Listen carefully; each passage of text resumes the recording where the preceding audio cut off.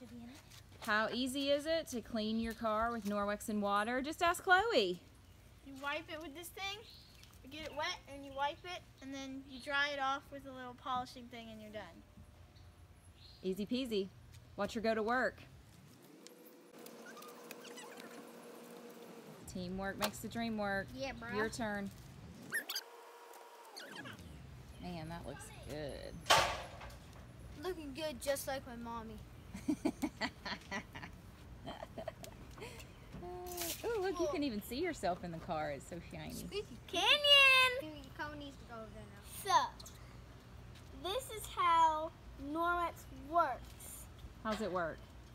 Okay, so you have to put some water on a car or something. Um, you can use it with a wet cloth or a hose or any water thing that you have. And then after that, you can get all these li- little things off, off with this, with that thing that my sister has.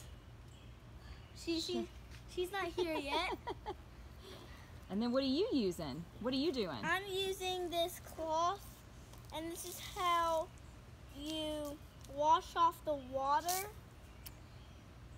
And make it make it shiny. and make it shiny. Awesome. See, look at that.